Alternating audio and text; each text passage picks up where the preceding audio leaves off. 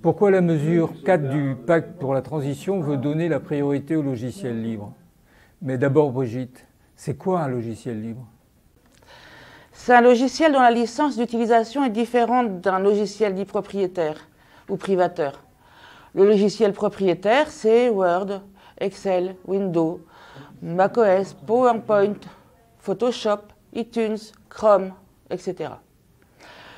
Le logiciel libre, c'est LibreOffice, Linux, Firefox, GIMP, Blender, Scribus, etc. Que permet cette licence d'utilisation? Avec un logiciel propriétaire, tu as le droit de l'acheter et de l'utiliser. Mais pas moyen de savoir si en plus de rédiger un texte, Word envoie ton texte à Microsoft par exemple. Par contre, avec le logiciel libre, l'utilisateur bénéficie de quatre libertés. Liberté de l'exécuter, liberté d'étudier son fonctionnement, liberté de redistribuer des copies, liberté de l'améliorer. Et comment peut-on savoir ce que fait le logiciel libre? Le logiciel libre est fourni avec son code source. Il s'agit, si on veut faire une comparaison culinaire, de sa recette de cuisine qui permet à un informaticien de comprendre son fonctionnement et même de le modifier pour l'améliorer ou répondre à de nouveaux besoins. En quoi une collectivité locale comme Quimper ou QBO devrait utiliser et promouvoir les logiciels libres et les formats ouverts? Mais Brigitte, c'est quoi un format ouvert? En informatique, un format de données, c'est par exemple la manière de stocker un texte, une image, un son, une vidéo, un programme, ce format est dit ouvert lorsque les spécifications techniques sont publiques et connues de tous, par opposition au format propriétaire ou fermé. Pour une ville comme Quimper et une agglomération comme QBO, utiliser les logiciels libres et les formats ouverts, c'est un gage d'indépendance technologique vis-à-vis des mastodontes américains comme Microsoft ou Google. Et pour les habitants de Quimper ou de QBO, est-ce important? Dans le cadre de leur relation avec la ville et l'aglo, qui se dématérialise de plus en plus, c'est la garantie pour les citoyennes et citoyens de conserver le contrôle de leurs données et d'en assurer la pérennité. Pour les services de la ville et de QBO, y aura-t-il des changements? Ce sera pour ces services la possibilité, entre autres, de participer au développement de logiciels libres utiles aux collectivités locales. Ta conclusion? Ma conclusion sera que pour éviter un enfermement technologique, il faudrait que Quimper et QBO mettent en œuvre une politique volontariste de priorité au logiciel libre et au format ouvert. Le numérique a aujourd'hui euh, envahi notre euh, quotidien. Avoir donc une politique euh, en matière de, logiciels, d'utilisation du numérique est donc euh, nécessaire pour une collectivité qui s'oriente vers une transition euh, écologique, environnementale, sociétale réussie. Euh, les propositions que nous avons déjà pu mettre en avant dans notre projet tournent autour de l'accessibilité numérique, avec la mise en place de points d'accès numérique dans les différents quartiers de la ville, avec la possibilité pour les personnes qui sont le plus éloignées du numérique de pouvoir demain y avoir accès, être accompagnées avec euh, donc euh, l'usage euh, dans ces espaces ou ces points d'accès numérique de logiciels libres, afin de favoriser justement un écosystème qui permette aux uns et aux autres de s'approprier les logiciels les plus courants. Nous souhaitons donc donner la priorité aux logiciels libres, les utiliser dans le quotidien, c'est quelque chose aussi qu'on fait déjà dans le cadre de notre campagne, avec euh, des logiciels comme Firefox, par exemple, pour euh, naviguer euh, sur le web, et donner à chaque fois la priorité à des standards ouverts que propose par exemple la suite LibreOffice. Nous sommes également donc à, réfléchir à des solutions aussi de développement de services alternatifs. On peut imaginer donc le développement, l'aide à des associations qui euh, travaillent euh, à de l'hébergement euh, coopératif, comme Infini aujourd'hui existe à Brest. Nous souhaitons aussi favoriser une politique par rapport aux, données ou aux logiciels donc, créés par la ville d'open data, donc à la fois des données qui ont été réalisés par les services, les ouvrir aux, citoyens. Et d'autre part, par rapport à des développements logiciels qui pourraient être mis en place dans les services de la collectivité, favoriser la mutualisation des services proposés auprès de d'autres collectivités. Il s'agit à chaque fois aussi, c'est une manière d'aller un peu plus loin encore que le pacte pour la transition, de systématiser l'usage de services en ligne qui garantissent euh, donc un meilleur respect de la vie privée, euh, donc que ce soit dans l'échange de fichiers, le calage d'agenda, ou même dans la recherche en ligne. Je pense notamment à Quant, un moteur de recherche français et européen qui a notamment développé une version bretonne avec Quant.bzh. Donc l'utilisation aussi d'un moteur peut faire référence à d'autres aspects qu'on souhaite porter au sein de Quimper Ensemble, hein, comme euh, l'utilisation de, de, la langue bretonne. Euh, autres éléments euh, un peu plus techniques, mais qui sont aussi intéressants pour une vision globale des collectivités, c'est euh, s'associer, réfléchir à la mise en place de data centers, de centres d'hébergement de données publics. Aujourd'hui, donc, la région, à travers Mégalis, travaille à ces projets de data centers publics pour mutualiser les ressources. Le Morbihan est également en réflexion. Nous souhaitons donc envisager en Finistère aussi cette réflexion qui permet de ne pas être dépendant euh, d'hébergement euh, privé et d'avoir la garantie de données publiques, euh, donc hébergées en France dans un environnement sécurisé. Souhaitons aussi réfléchir à des actions comme des points d'interconnexion qui se développent aujourd'hui en, Bretagne avec au niveau régional Brexix ou plus près de nous à Brest, Brestix. Euh, qu'est-ce qu'un point d'interconnexion? C'est en fait une décentralisation du web, comme les data centers que nous évoquions à l'instant. C'est-à-dire qu'un site internet, s'il est hébergé donc euh, en région Bretagne, il ne s'agit pas d'aller chercher sa référence à Paris, mais de la trouver au plus près du centre d'hébergement euh, local. Donc c'est un exemple aussi de, des choses qu'on peut mettre en place, des politiques qu'on peut mettre en place au niveau local pour favoriser une éthique d'Internet. Comme euh, je l'évoquais, donc c'est une philosophie euh, donc que nous souhaitons véritablement mettre en place, une politique au sens noble du terme, pour favoriser donc euh, d'autres aspects qui, est la qui sont la participation citoyenne, l'apprentissage du breton, l'apprentissage aussi du code. Hein. On pense notamment à des actions qu'on a pu voir avec Isabelle sur le codage pour les jeunes filles qui a pu se faire en Ille-et-Vilaine, qu'on sera heureux d'implanter ici au plus tôt. Niveau des scolaires, oui. Tout à fait. Et euh, last but not least, c'est aussi, ça fait partie de notre ADN, une saine gestion des finances publiques en favorisant donc le logiciel libre. Alors les logiciels libres. Bon, qu'est-ce que c'est le logiciel libre? C'est en fait donc un logiciel qui permet, comme son nom l'indique, la liberté. Donc liberté de choisir euh, ce qu'on y met, ce qu'on y fait, ses usages, c'est aussi euh, l'égalité, parce que chaque concepteur du logiciel, il va être euh, à égalité avec tous les autres. Donc il n'y a pas de phénomène de recherche de puissance comme euh, les multinationales qui, eux, vont concevoir des logiciels sous licence. Et puis c'est aussi euh, la fraternité ou la mutualisation, puisque en fait euh, tous ces logiciels vont être euh, partagés, améliorables, réutilisables, copiables par les uns et par les autres. Donc c'est tout à fait l'esprit de l'écologie. C'est en fait une utilisation à la portée de tout le monde et faite par tout le monde, conçue par tout le monde. Donc évidemment, nous, on est tout à fait favorable à introduire les logiciels libres dans la collectivité. Alors, euh, évidemment, ces logiciels libres, euh, pour les introduire dans la collectivité, euh, il y a plusieurs intérêts. Déjà, l'intérêt, c'est que on a des économies, je pense, à, faire parce que tous les logiciels sous licence sont très très onéreux. Euh, mais c'est pas si simple que ça parce que les, ben, les, personnes qui travaillent dans les services sont habituées à tous ces logiciels et donc il y a une culture à changer. Donc il faut, euh, me semble-t-il, y aller progressivement. D'abord en utilisant des logiciels bureautiques qui euh, les logiciels libres de bureautique sont assez facilement réutilisables par, par quiconque veut bien en fait les essayer, parce qu'ils ressemblent un peu aux logiciels qui sont vendus par Microsoft ou autres, pour ne pas les citer. ensuite, si on passe au niveau 2, en fait, là, il faut travailler sur les logiciels métiers. Et là, ça devient un peu plus compliqué parce que, en fait, les métiers de la collectivité sont croisés.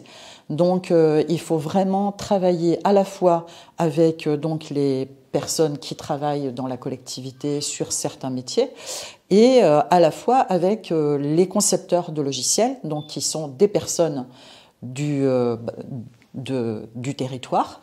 Ça, c'est aussi un avantage, c'est qu'en fait, on, travaille avec des personnes qui vont être en proximité avec donc les utilisateurs de ces logiciels, et on va aussi euh, ben, rémunérer du coup ces personnes qui sont sur le territoire et donc qui vont participer à la vie aussi locale.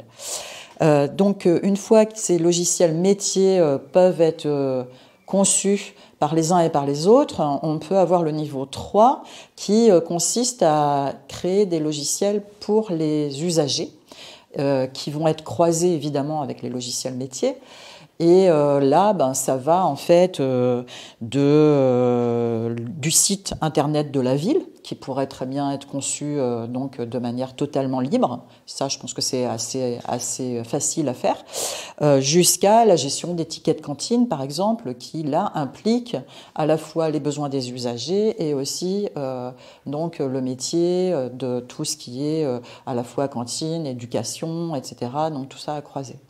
Alors, si on, voilà, on va commencer doucement, mais en tout cas, on va lancer cette dynamique euh, parce que euh, on pense qu'on a tout à y gagner en termes euh, ben, déjà de philosophie et en termes aussi d'économie et en termes de collaboration entre tout le monde.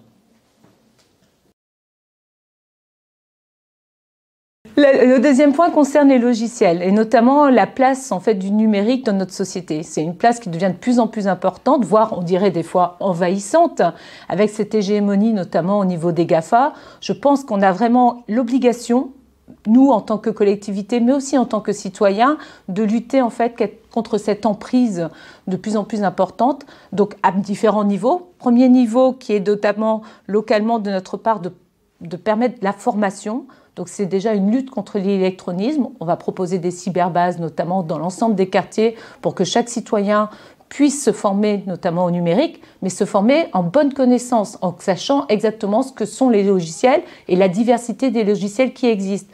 Il faut vraiment informer les gens sur la notion des logiciels libres, qu'ils ne connaissent pas souvent. Donc ça, c'est vraiment un point important, c'est leur permettre en fait de mieux sécuriser leurs données et de mieux les protéger par la suite. C'est, je pense, un point réellement essentiel. Au niveau des collectivités, c'est aussi accompagner ces choix et cette transition euh, au niveau des agents. Et pour l'instant, ben, il nous faut faire un audit pour savoir réellement où on en est et quelles sont les capacités de transition et de changement sur le point de, sur point de vue des logiciels. Un point aussi essentiel, c'est l'hébergement. Euh, on sait que les data centers aujourd'hui qui euh, collectent l'ensemble des données qui sont dans le cloud sont un peu concentrés dans des endroits et nous voulons les localiser. On sait qu'il y a des expériences qui sont faites.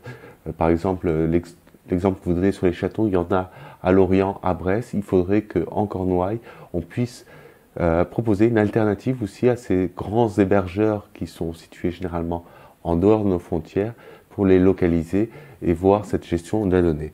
Et tout ceci, en fait, on ne pourra le faire que en travaillant avec toutes les associations. Il y a des associations à Quimper et ce qu'on veut faire, c'est travailler avec les usagers et avec les associations dans ce domaine pour proposer le meilleur choix. Alors nous, on a fait un constat, enfin il n'y a pas que nous qui avons fait un constat, c'est que euh, l'informatique prend de plus en plus euh, la place dans la vie de tous les jours de toutes les personnes. Euh, surtout grâce au gouvernement qui fait que toutes les démarches se font en ligne, maintenant il n'y a presque plus de papier. Et on a constaté, enfin les associations ont constaté que bah, il y avait une fracture, il y a une fracture entre les gens qui, tous les, je dirais les jeunes, oui, les jeunes surtout, et par rapport aux plus anciens qui, eux, ont beaucoup de problèmes avec l'informatique. Ça, c'est le premier truc. Le deuxième, la, coopérative a constaté aussi qu'il ben, y a une mainmise de l'informatique par des grands groupes qui sont surtout américains d'ailleurs, pour en l'occurrence, enfin qui sont tous américains d'ailleurs, euh, et qui, euh, euh, sur la sécurité, des données, sur la sécurité de ce qu'on fait sur, dans, sur le travail d'informatique, ben, il n'y a rien de secret pour eux. Ils, gardent tous les données que nous, on peut laisser sur le, web. Donc, face à ce constat, nous, on pense que les logiciels libres et avec des données ouvertes sont euh, un palliatif à ce problème.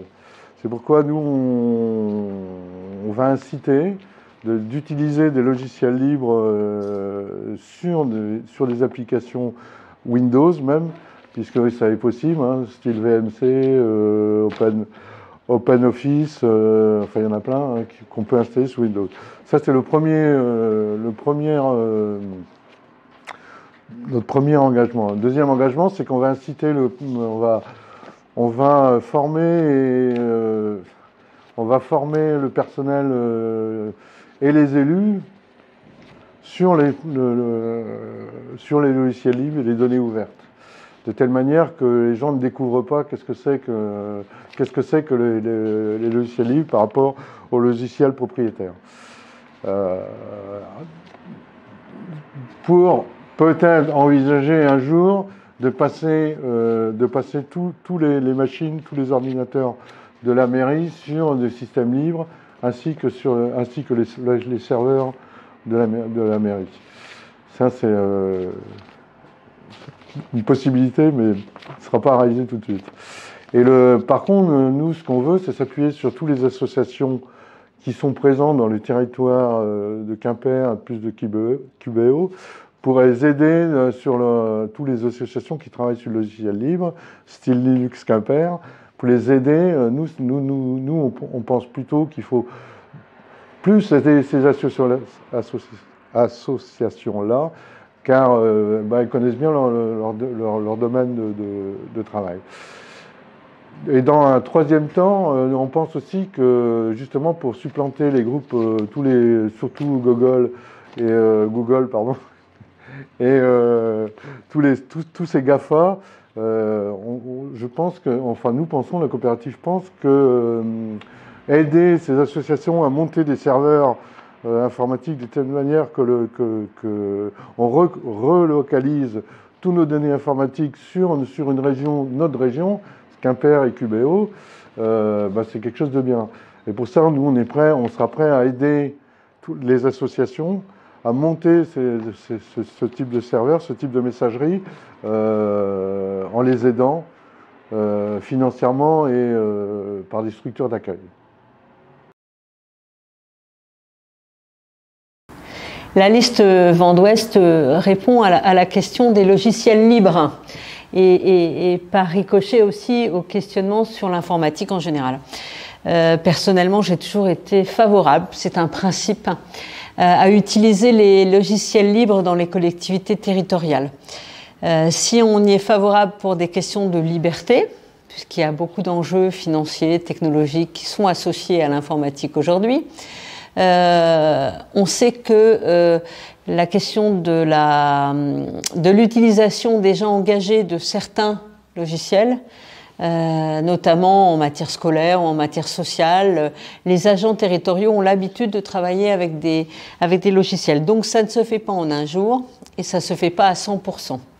Alors ça fait un peu une réponse de Normand, mais on peut être favorable à étendre euh, les logiciels dans la collectivité. Alors de quoi on parle?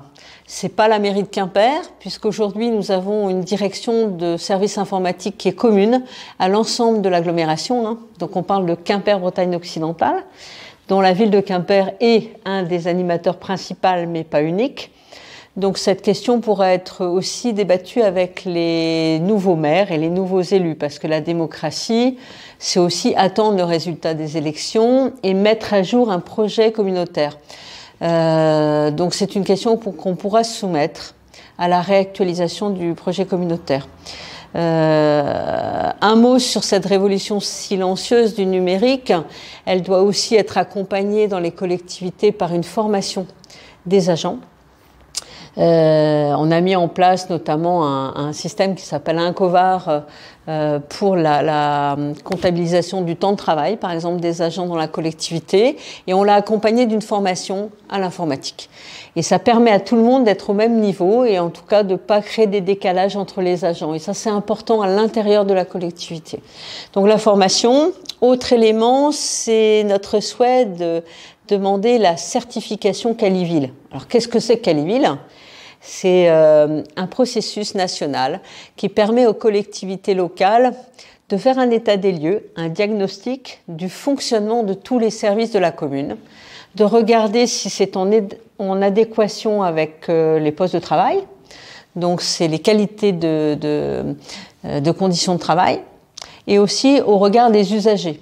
Euh, c'est vrai, dans les postes très exposés, on a besoin d'une réflexion Notamment, je pense euh, au poste d'accueil du public, le CCS, l'état civil, les médiathèques. On a là des agents qui euh, utilisent à la fois l'informatique et en même temps qui sont avec les, usagers. Donc là, ce label Caliville permettra de faire un état des lieux et de proposer des modifications profondes sur la relation avec le public, sur l'utilisation de l'informatique. Vous savez aujourd'hui que les communes on nous demande de faire les passeports biométriques, euh, les actes notariés. Euh. La dématérialisation est un enjeu. J'appelle ça la révolution silencieuse. Et cette révolution silencieuse, ben, il faut l'accompagner euh, avec un peu d'humanisme. et c'est aussi la question qui est derrière les logiciels libres c'est pas de se faire imposer euh, un big brother ou un big data international mondial qui uniformiserait l'ensemble euh, des procédures. Ici, on est en Bretagne, on aime bien avoir des choses différentes d'ailleurs. Euh, donc c'est le cas à Quimper aussi. Je pense que sur cette question-là, donc on est favorable, on est réaliste et ça demande du temps. je crois qu'il faut être responsable là-dessus. Bon, personnellement, j'ai refusé de voter euh, dans cette mandature précédente hein, une délibération qui donnait gratuitement tous les droits d'utilisation des images euh, qui étaient propriété du, de la ville ou du musée des beaux-arts à un institut euh, américain très connu. Parce que je considère aussi que même si on a envie de partager un savoir, il faut comment dirais-je, il ne faut pas s'enfermer dans une logique purement marchande dans l'utilisation des données. On est très attentif à la liberté, à la protection des données, qui est une question annexe euh, de l'informatique. Euh, et la RGPD, euh, qui est la loi qui donc protège les données individuelles, doit être mise en œuvre dans ces collectivités. Donc voilà, en interne, on est favorable, mais on est quand même responsable. Et ça se fera dans le temps avec de la formation des agents, avec du dialogue avec des usagers et des labels de, de qualité.